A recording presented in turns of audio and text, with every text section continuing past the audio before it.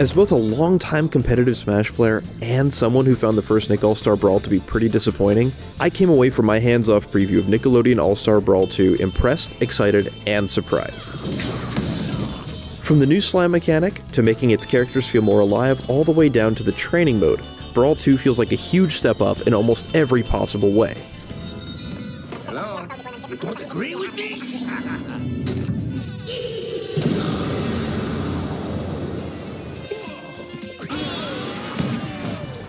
The original All Star Brawl was fun, sure, but the lack of even basic stuff, like voice acting, made Nickelodeon's iconic cast of characters feel flat. Similarly, many of the characters felt samey and lacked different game plans from each other, aside from basic stuff like movement speed, knockback, and damage on their moves. Combined with the flat animations and dull sound effects, that gave the gameplay a mirrored sense of lifelessness. Even still, it was a good time with friends and had some clever ideas. But most importantly, it seems like it set the framework for All Star Brawl 2 to really knock things out of the park. And this time, with a satisfying whack. Like the first one, Nick All Star Brawl 2 is a crossover platform fighter between iconic Nickelodeon characters throughout the years.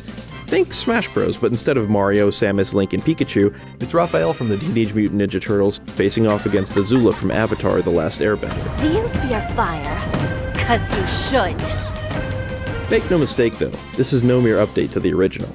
Developer Ludosity Entertainment fully rebuilt and remade everything in the game from the ground up, and it shows. While a lot of what worked in the first Nick All Star Brawl is still present, almost nothing is the same. Even characters like SpongeBob SquarePants or April O'Neil, who were on the last game's roster, have new movesets, models, and animations.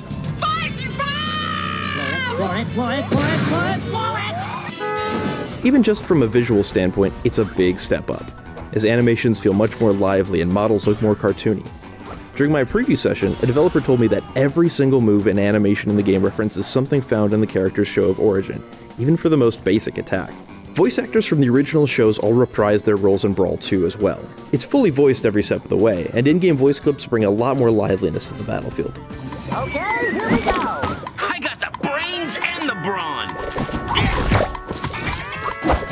But even outside of a match, Dialogue in its roguelite campaign inspired by Hades is brought to life by these iconic voices. Brawl 2's biggest get, however, is the slime mechanic. Rolling inspiration from non-platform fighting games into the genre, slime functions like a meter in a few different fighting games. You can use it to add extra oomph or special effects to any special move, or to unleash a powerful super move when it's full, like in Street Fighter.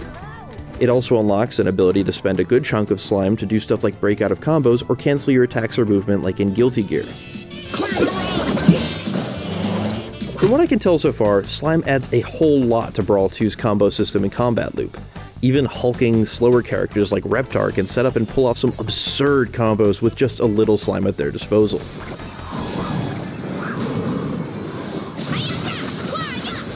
Of the hour or so of gameplay that I saw, Slime was the real star of the show. This mechanic is completely like anything I've seen in most other platform fighters and has a lot of depth to it. I saw Slime not only come out to suit specific combos or scenarios, but it seems like it'll bend to your playstyle too.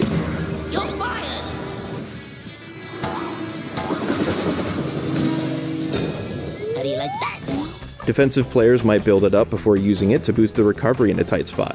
Or players who like to pile on the pressure might use it to cancel out of a heavy attack to deal extra damage to their opponent's shield.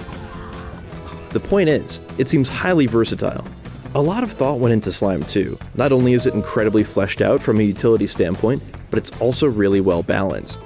Ludosity didn't break down the exact equations at play, but said that there was, quote, fancy math that helped scale down stronger attacks after a slime cancel. That's critical to Slime's success as a mechanic, because without that small tweak, you could feasibly hit a weak attack, cancel it, and follow it up with a killing blow without any difficulty, even on opponents who haven't taken much damage. If my preview session and Ludosity's character spotlights and trailers are any indication, the jump from Nickelodeon All-Star Brawl to All-Star Brawl 2 is going to be reminiscent of the jump from Super Smash Bros. on the Nintendo 64 to Super Smash Bros. Melee. I am positively buzzing with excitement to get my hands on the sticks and get brawling. For more on Nickelodeon All-Star Brawl 2, don't miss the official announcement trailer, as well as the April O'Neil trailer. And for everything else in the world of video games, stick with IGN.